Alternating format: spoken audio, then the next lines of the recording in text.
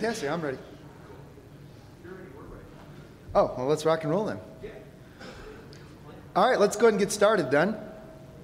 Um, first off, I had no idea that there'd be this many people this early in the morning, so I'm really impressed by all of you. Give yourselves a round of applause. We got out of bed this morning. Um, before we start, I just want to ask a few questions, get a feel for the room. First off, uh, how many of you were here for last year's Dirty Red Team Tricks talk?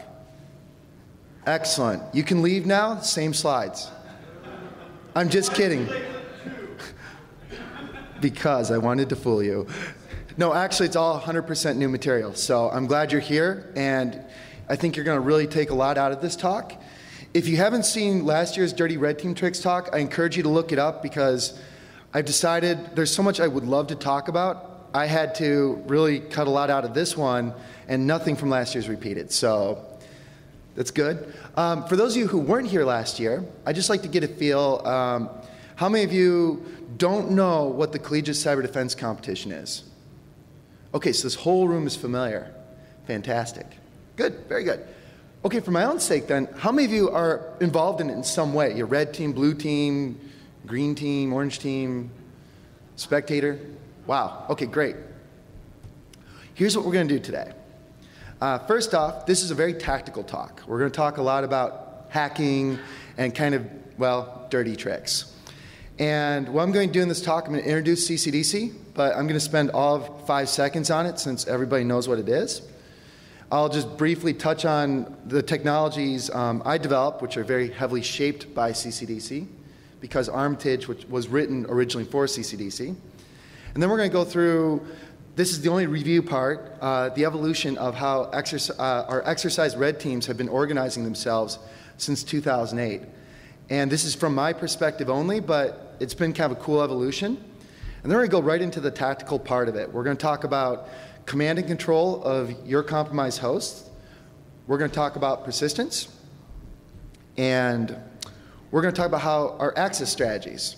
And kind of an underlying theme you're going to see through all this is automation and how it kind of fits into these different things. But there's going to be some cool tricks too. So, first off, for those watching on the internet, I suppose, because everybody here knows what this is, CCDC is a, a defense only competition for college students. Okay? Uh, you can learn more about it www.nationalccdc.org. There's 10 regions. Uh, the winning college team from each region goes on to a national competition to win uh, prizes and job offers from sponsors. Uh, the teams have the same hardware and software configuration across the board, which is great if you're writing scripts to hack into all of them. And they're scored on their availability, uh, excuse me, ability to keep services up, their ability to respond to business injects, and everybody's favorite part, the ability to stop the red team. Um, just a ranty thing uh, for me. Uh, there's a lot of talk, I think, in our communities and our conferences that everybody's like, "Wow, this is really a, we're really attack focused as a community." That's stuff where the interest is. But a lot of people are like, "What are we doing to actually develop next generation defenders and motivate them to get out there in the real world with skills they're going to use to defend networks?" Because not everybody's going to become a pen tester, for example. Um, if you want to look at an organization that's really doing something towards that, look at CCDC. I've been involved with it since 2008 in the Northeast region, and I think one thing you'll take from this talk is this evolution that happened. And every year, the student teams force us as a red team to up our game big time. I would take the top teams in any of these regions against a team of very seasoned professionals, um, put them on par or even above, because these students are incredibly motivated. They're not complacent. They know that there's a threat out there, and what they come up with and what they're able to do in a very short amount of time is nothing short of amazing to me. So if you're a competitor and you've played in this event, my hat's off to you. You guys are just awesome. Um, just, I, I call March and April red teaming season every year. This is kind of my CCDC resume. I do other exercises too, though. Northeast since 08, Mid Atlantic the past two years. I did pack rim via VPN. Uh, I was on the national CCDC red team, so I got that perspective. And um, Rocky Mountain for like three hours until the VPN died on me. But it was fun. I got a story from it, so that's kind of cool. Uh, real quick, why I'm giving this talk. Um, of course, you know, it's just fun stuff to talk about. Um, the other thing, I like giving away my kit each year and how I do things or what worked because it forces me to come up with new stuff. And so this is like a way of, it's like giving your friend $5 and saying, every time I go talk to somebody new, give me a dollar back or 20 bucks, whatever. I used to do that actually. Um, that's why I'm, I like talking, I'm comfortable talking to people now. I wasn't always. But um, it's like that. Giving away my tricks forces me just to keep learning. Because if I hold on to the same things and keep relying on them, I'm afraid I'll go stale. Um, and the other thing, too, is CCDC heavily drives the agenda of the work I do because it's a laboratory. I've got so many motivated network defenders, 100 of them practically per event, that it is a chance to actually just see how these different people respond to things and just get a sense of what works across the board. And what I found is for everything I've come up with, somebody's able to defeat it, but not everybody. So that's uh, a lot of fun. Uh, for those of you, I'm the developer of Armitage, and it's a red team collaboration tool. It's also a front end for the Metasploit framework. Again, I built it for CCDC, and so you're going to see it in some of the demos. And again, what Armitage is known for, just to kind of lend context to the things I'm showing you and talking about, is it allows me to have a central attack server, and my red team members can connect to it with a client, Armitage, and we can all work against a victim network or 10 victim networks at the same time. Very powerful thing, but it's a building block. Um, as a researcher, one of the ways I approach problems, I don't build technologies to give a solution, I build technologies to ask a question. So when I built Armitage, the question wasn't, or the solution wasn't, here's how red team should collaborate. It's, if we had these things, we could begin to collaborate. I don't know what that would look like. And that's what we're going to be talking about a little bit here, too. So that's kind of the heart of everything I do. But the big theme for this year is, uh, for me, is a technology called Cortana, which was funded by DARPA's Cyber Fast Track program. And I see several of my BITS friends here. Thank you guys for showing up. I appreciate it. Uh, they were my first audience several times throughout the past year. We'd have like four hour sessions where I would like in painstaking detail demo things to them. I appreciate your patience, guys. Um, is it for me? That's fine. So what Cortana is, is Cortana is a scripting language. And through Cortana, I'm able to write bots that connect to this red team collaboration architecture. And it's also possible to write scripts that run from Armitage, or any of these bots can run inside of Armitage too. And it actually has its own debugging tools. And the thing about Cortana, it was not, oh, look, let me build a language and make Armitage scriptable, although that was what I wanted. The research question behind it, which is part of the reason I was able to actually uh, pitch DARP on it, was we've kind of, to a degree, got some good insights into collaborating with humans, okay? What happens when we add automated actors to the mix? Where is the line between what a human can do and what a bot can do, okay? And this is, these are the questions I was exploring through the Cortana effort, and I hope in some of the stories I share with you today that you kind of get some of those insights and can take some of these ideas forward. So going back, uh, let's go back in time a little bit and just talk about um, the history of all this. Uh, 2008, 2009, here's what CCDC looked like. We had one guy with core impact getting into everything, okay? And I was really jealous because everybody was like crowding around this guy like he was a hero. And like we celebrated this guy. I did too, actually. And if anybody else wanted to get access to systems, they needed to whip out Core Impact if they had it, which he's the only one who did, and um, exploit the same vulnerability. We did some other cool things, but we were trying to figure out a way to work together besides just having one guy hack into everything. And one of the things we tried that I haven't talked about before was a failed effort during the competition called Funhouse. And what I was basically trying to get a core guy to do is said, hey, send me a Netcat listener, basically, and give me basically a socket connection for a shell, and I'm going to send a bunch of commands to that compromised system. We'll try to do stuff to it automatically for everything we get. And couldn't make it work during the competition. So Funhouse was a failed effort.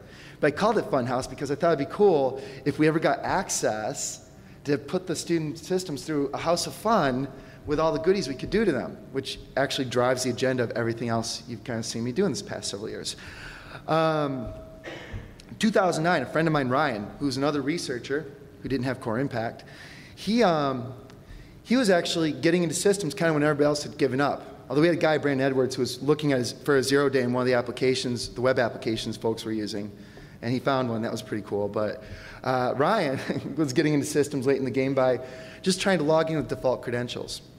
And that inspired me to write some scripts that I ended, uh, ended up giving away last year um, to actually automatically log into all the systems right at the beginning um, with default credentials, very Unix heavy, and just backdoor the Unix system six ways to Sunday.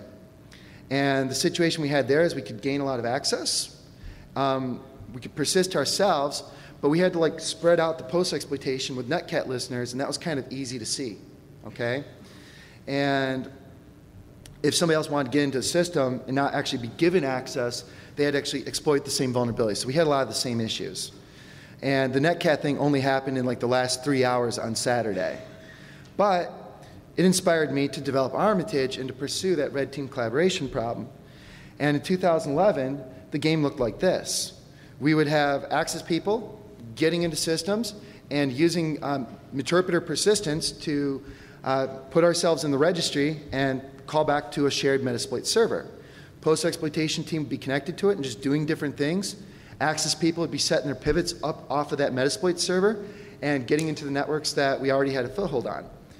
And this model worked um, reasonably well, although at the time, and for the wrong reasons, I gained a distaste for the Meterpreter persistence because I thought it was too obvious creating a service and installing Meterpreter and registry keys.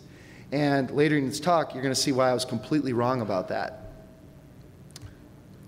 2012, the game changes again. Because students got really good at spotting Meterpreter in our active shell sessions, got really good at watching Wireshark, here's the situation we found ourselves in. We would have access teams um, basically breaking into stuff and passing sessions over to our loving, I call them shell Sherpas, because our job is to guide, protect, and shepherd all the shells. That's the role I usually play.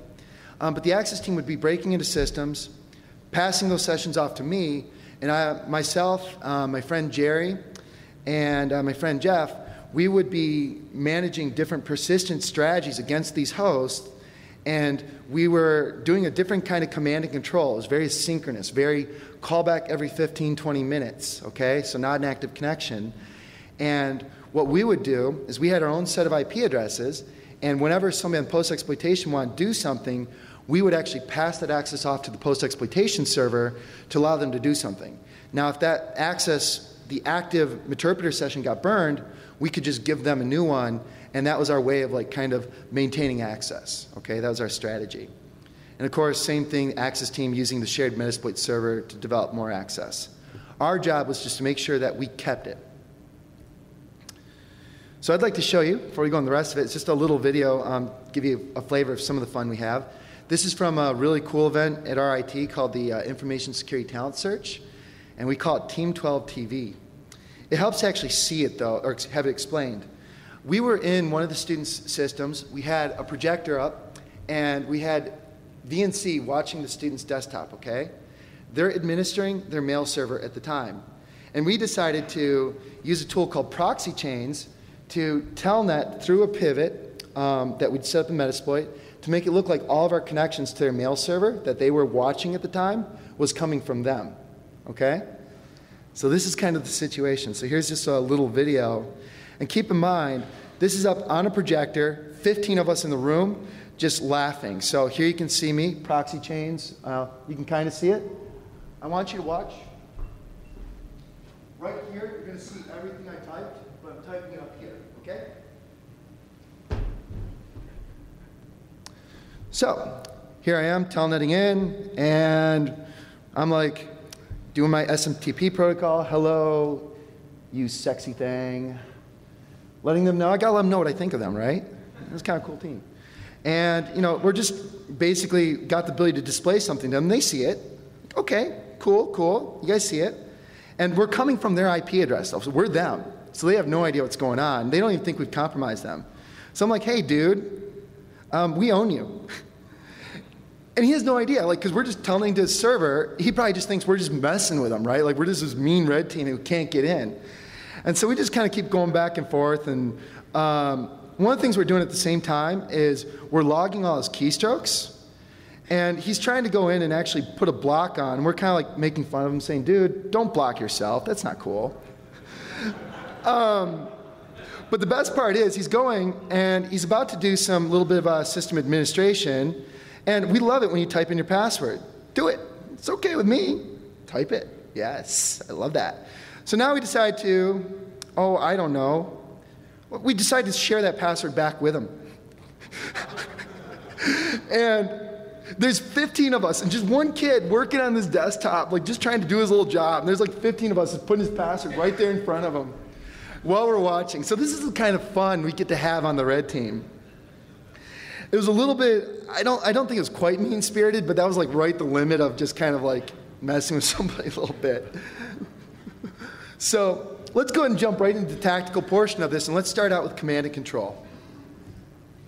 I mentioned this year, one of the things that's much different is instead of relying on an active remote administration tool like Meterpreter or just even a shell session, we moved to a synchronous command and control across the board, okay? There's several of us who are like carnies during March and April. We travel event to event, push the button, and give the students a ride. And we developed um, some tools. I developed something called Raven, which is a, um, a synchronous agent for Windows to call back low and slow and let us task it to give us new sessions. My friend Jeff developed something called Mayhem for Linux. And my friend Jerry developed a rootkit very similar to Raven, but it's kernel level, uh, called the G Spot, uh, aptly named for uh, reasons he can share with you. I have the utmost respect for my peers. That's why I'm wearing a blazer, and you know, so I won't uh, go further on that. So here's how Raven works. One, it's very simple. Once it starts, it goes to sleep. It's like, ah, I'm running. Let me go to sleep. And occasionally, about every 15 minutes, make an HTTP request back to one of several embedded URLs. And if there's nothing there, it goes back to sleep. No problem. But if a file exists, it assumes that file is shellcode, just raw, unfiltered, genuine draft shellcode. And it'll create a thread and inject that, inject that shellcode into the thread and just let it go. Okay? So in that way, we're able to just task it to give us new session. Hey, I want a Meterpreter session. Here's the stage for it. Go. Um, something about Raven. This is also, I developed piece of software, commercial side called Cobalt Strike. This is the only thing you'll hear me say about it. You can come to my table. I'm giving away free pen test labs too. I'm way back there. Um, but I, this is, Raven was a precursor to Cobalt Strike's be, uh, beacon feature, which is basically um, a synchronous command and control. It's a payload it can talk over DNS, talk over HTTP, and unlike Raven, it's got a nice GUI and it can be delivered with Metasploit Framework's exploits. So a little bit more on that, um, but something else too. Raven, I'm releasing that today, so I'm giving you guys source code so you can tinker with it and try to make your own evil asynchronous command and control as well. So no problem. on a personal note, I love doing open source, so I'm keep trying to find the balance between um, making like really cool things, but also to keep like just putting what I'm learning because I benefit from what you guys contribute and giving something back. So I'm working on that. So I hope you guys do enjoy Raven. Um, but one problem with Raven is fine, we can get it onto a system, but how do we hide it? And that's something I'd like to talk about next persistence, okay? First off, here's something I was ignorant about. The old Windows, the interpreter persistence stuff, installing um, a registry key, um, setting up a service with an asynchronous callback works really well. I did not know that. I didn't suspect. That. I was looking for something more esoteric because I thought students were finding us in the registry and kicking us out that way. Um, now I'm pretty convinced they were just looking for our command and control and blocking that, and they weren't actually digging us out. Okay, so students, my, point, my um, bit of advice to you even if you're not seeing traffic, figure out where these registry keys are, figure out how to look at them, and look for us there because we're there even if you don't see us. Okay, that's very important. That's very important in uh, real life as well. And that's something I took away this year is a lot of our callbacks survive straight through the end of most competitions, and that was um, very rare. Okay, uh, that's kind of unheard of the past several years, and these methods right here worked. The next one I'm going to show you is a little bit more esoteric, has its limitations, but it's something I don't think most people are looking for either. So I'd like to ask you guys, and you can see that clearly enough to answer the question can anyone, just raise your hand, um, tell me what's wrong here?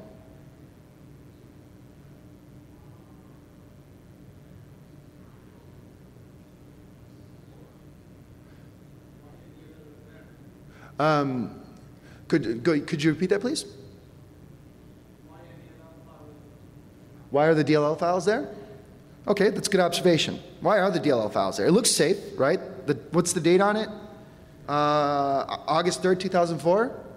You sure that's a problem? I know I highlighted it. Actually, that's not the problem, but the DLL thing was what I was looking for. One of our persistent strategies um, was DLL hijacking on explorer.exe. Here's what we did. Um, there's this URL here. When I release slides, you can actually get to it.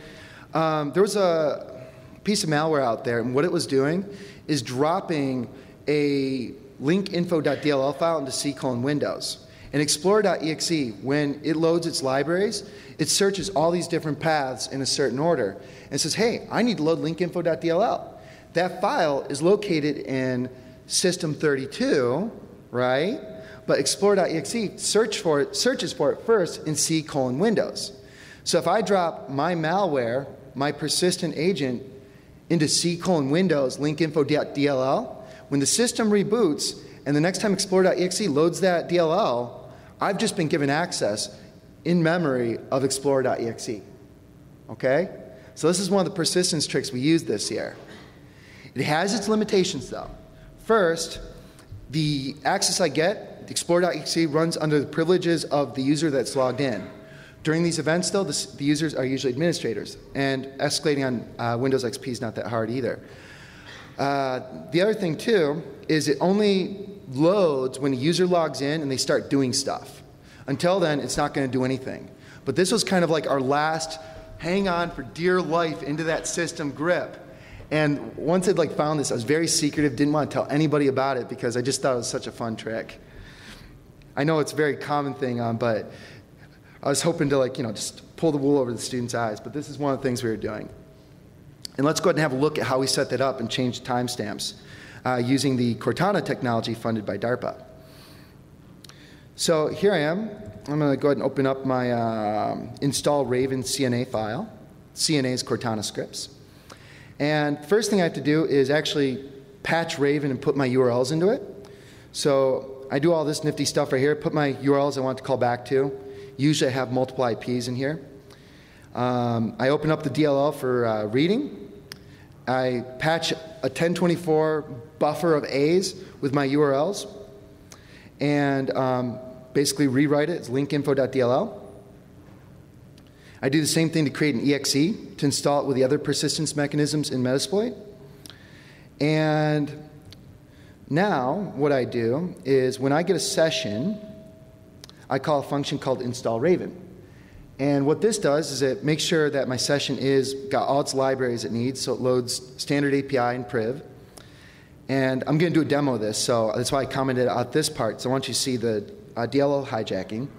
But I run the persistence module with Cortana, and I um, pointed to my executable to install it in different ways, like lsas.exe, startup uh, is um, system registry key, startup as a service, uh, VMware Tools D, and as a user, tray.exe. So if you see those floating around, that's me. the next thing I do, I go to a system, C Windows System 32. This is the really nice thing about Raven. It can do, or not Raven, uh, Cortana. It can do what a human can interacting with a compromised host. So it can say, hey, I want to run timestamp, which is an anti-forensics capability in the Metasploit framework, and I want the timestamp parameters on um, linkinfo.dll. And once the output of that thing comes back, this handler here is called onInterpreter timestamp, and I just parse through the values and store them.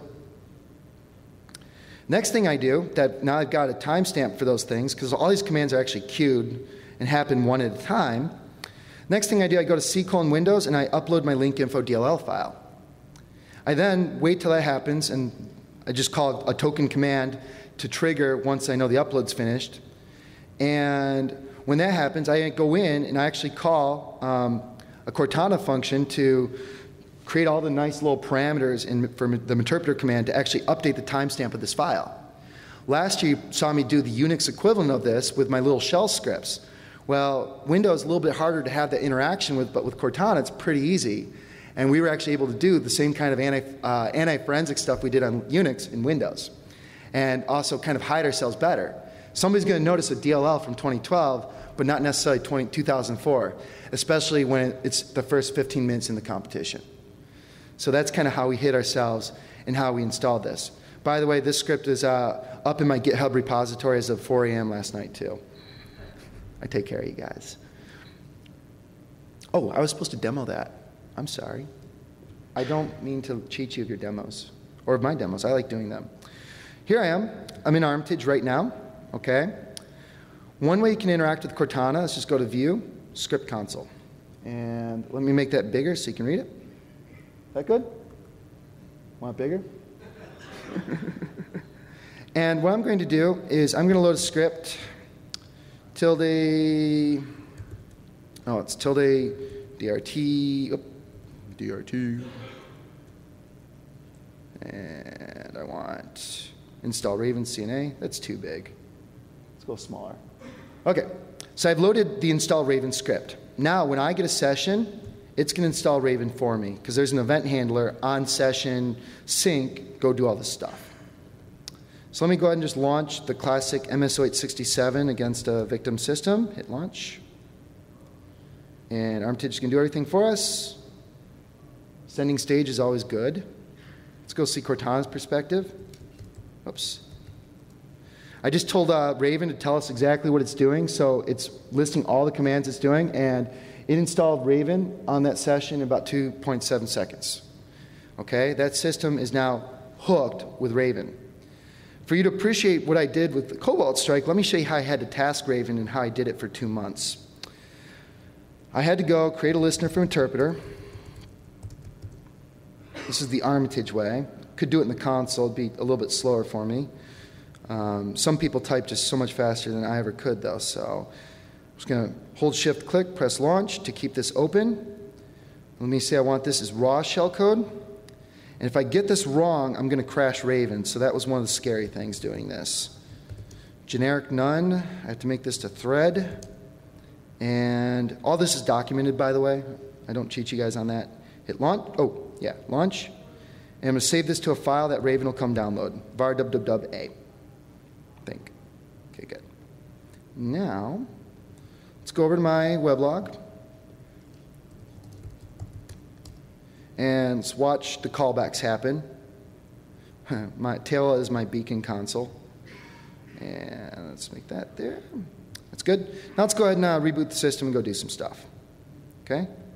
And I know I changed the password earlier. I hope I remember it when it comes time to. So let's go and reboot.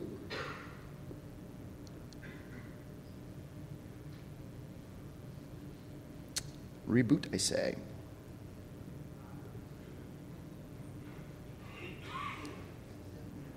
Oh, there you go. Good. What's that?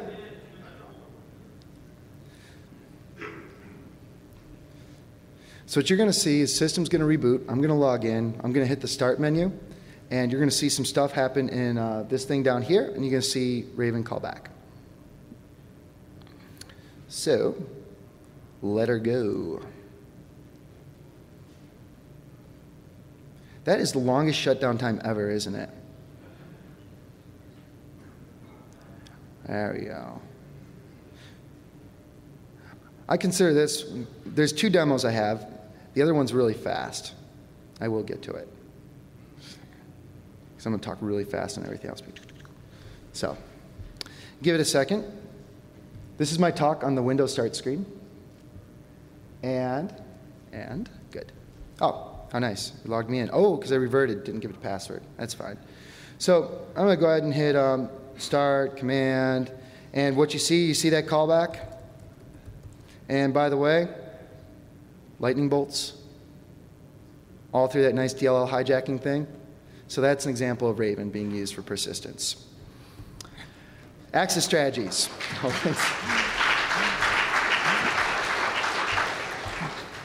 Access strategies. First off, same old song and dance, my friends. MSO867 NetAPI um, against some unpatched Windows 2008 and Vista, MS0950 SMB negotiation, blah, blah, blah, and PSExec with default credentials. For those of you who don't know what PSExec does, it basically logs into a system, uploads a file, and schedules it to run a second later. Um, this script, own.cna, is very simple. It's on my GitHub repository. It's basically one command exploit, this exploit, this IP address. Go. In a loop. Let's go ahead and see what that looks like, though. So I do have a very short video. So I want to show you what this looks like at PAC-RIM CCDC. If I hit play, I push a, uh, we've got all these sessions. I type do it, and Cortana just goes to work and is actually just backdooring the living daylights out of all these systems at once. Probably about like uh, uh, uh over 100 sessions. I don't know a team of 10 red team people that can do it that fast. And I'm on IRCs thinking that it's kind of epic, is what I'm saying there. So, you know, we had a good time with that. This is what a little bit of ownership looks like.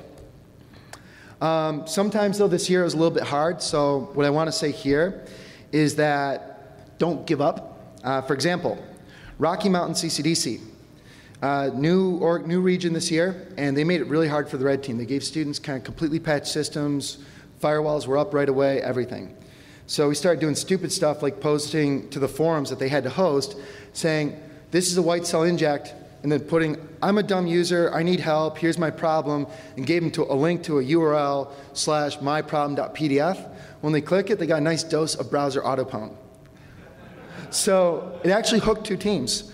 Um, and that's the point. If you're ever on red team, don't give up. Try the stupidest thing you can think of. It can't hurt in this environment. Uh, Northeast CCDC, we had a similarly hard problem, okay?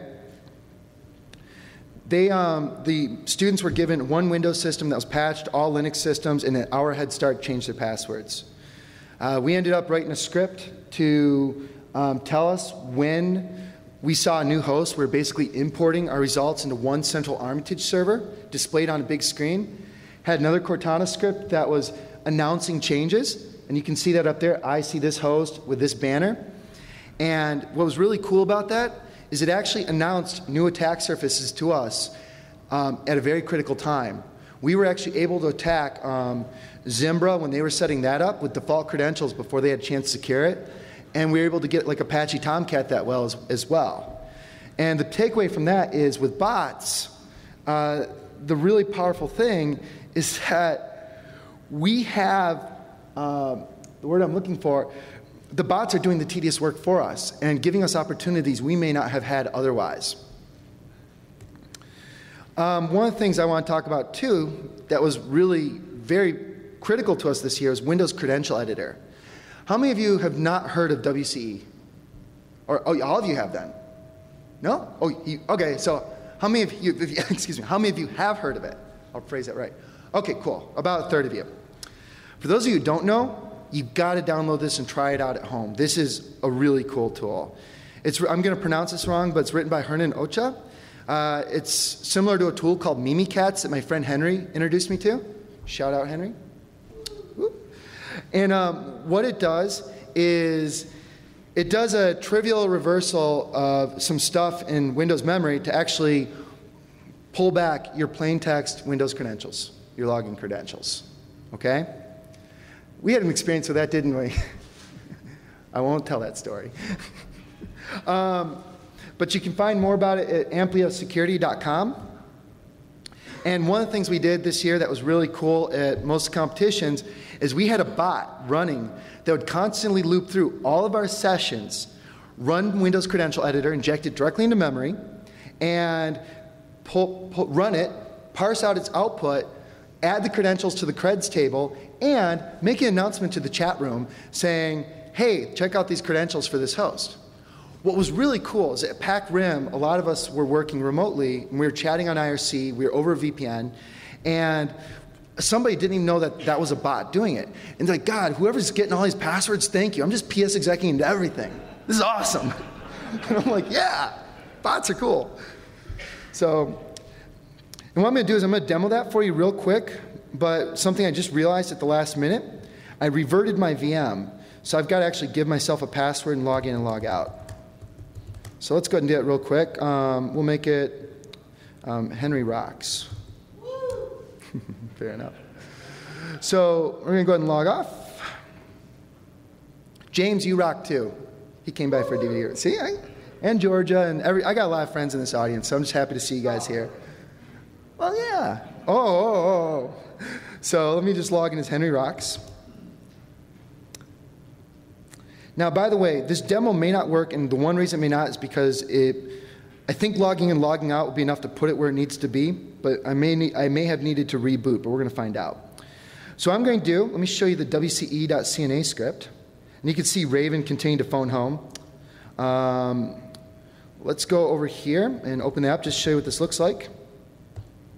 I define a Cortana console command called WCE. Just give it a session to run against, and it'll run against it. And what this does is use the Cortana function to actually tell Meterpreter to execute this local executable in memory on the target host.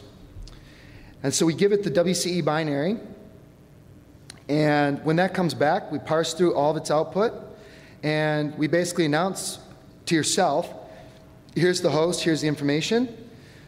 Um, say announces to the chat room for the bot, and I parse out the username password from the output, and I just run creds-a to go ahead and add that right to the creds table in Metasploit so everybody can use it for whatever.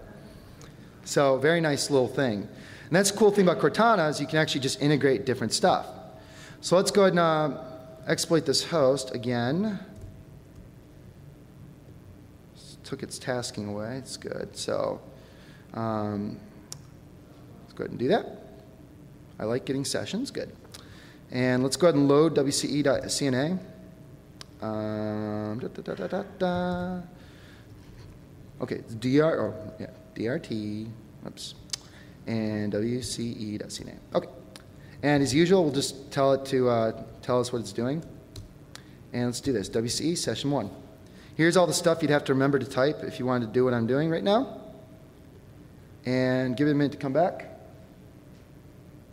And like I said, if it doesn't, it's probably because I just needed a reboot to actually trigger the, um, the whole thing, but it does take a few seconds, so. Well, let that be a lesson. Never revert your VM right before your talk. That's fine. What would happen, by the way, is it would just print out the uh, uh, password. And actually, if you'll humor me, what I'll do is I'll just reboot the box and yeah, let's tell it to run one more time. I'm up for that. I'm going to reboot the system and I'm going to go on, and if we have time, I'll come back to it because it's a really cool demo to see. But we know it works.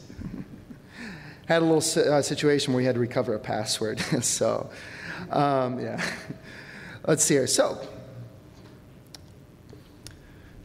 kind of um, to just tie this up a little bit. As I've kind of gone through some of this, um, one of the questions I had this year during uh, CCDC was how can automation help us? First off, the obvious things were things we've been doing before um, launching the opening salvo, actually getting into the systems, getting the low hanging fruit. That worked out really well. Um, installing backdoors. Those are all things I expected to be able to do with Cortana, and if it couldn't do those, I would have been really sad and I would have asked DARPA to defund me. Um, what was really interesting, though, that came out of this, that was really neat, is the bots giving us the window of opportunity. I didn't expect that, honestly. It all happened very organically. Uh, it started out with my friend Jolly saying, Is there a way, all these people scanning stuff, if we could just know what's changed? And I'm like, Yeah, I can give you a script. And then somebody else saying, I'm running Nmap every minute and changing my IP address. I'm busy. I'm not importing it. Can you automate that? I'm like, Don't you want to help us out? It's like, um, Sure. Can you automate it? I'm like, Yeah, sure. And we ended up with a system where we had these bots running from different hosts kind of working with each other to inform us so we could just take advantage of those time limited opportunities. And that was really cool. And it was also just neat to see the automated post exploitation feeding the actions of other red team members. So, right now, I think this is a very conservative view of what we can do, can do and should do with automation because these actions we took were pretty safe, minus the opening salvo. Um, but it was pretty cool to see the humans tasked and basically tapped to go do something um, by a bot. So, in this talk, what we did is we talked about the Collegiate Cyber Defense Competition.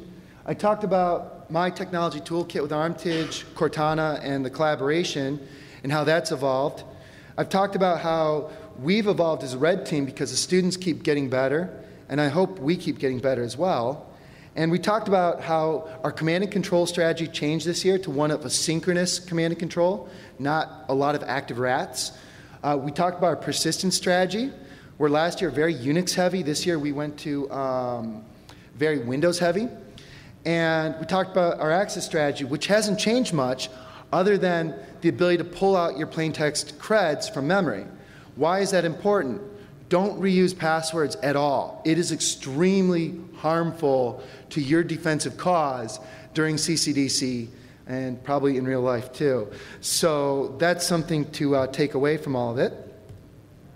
And of course, uh, the, things, the things I am releasing today, the code I mentioned for Raven is on GitHub. If you go to fastandeasyhacking.com and go to the manual and look up all the stuff on Cortana, the Cortana, this GitHub repository is linked there. Uh, the Windows credential uh, editor script is on GitHub as well. Uh, the differ script is already there. Uh, the auto own stuff is already there. Um, where to go from here? First off, you can find me on Twitter, Armitage Hacker. You can learn more about Armitage at fastandeasyhacking.com. Code's on GitHub. Please contribute. I really welcome that. And getting some really evil stuff like a guy, Int128, I guess he plays at Midwest CCDC. He's got the stuff to change like your keyboard layout to Dvorak. He's mean. I'm not that mean, okay? So I, next year is probably going to be really scary.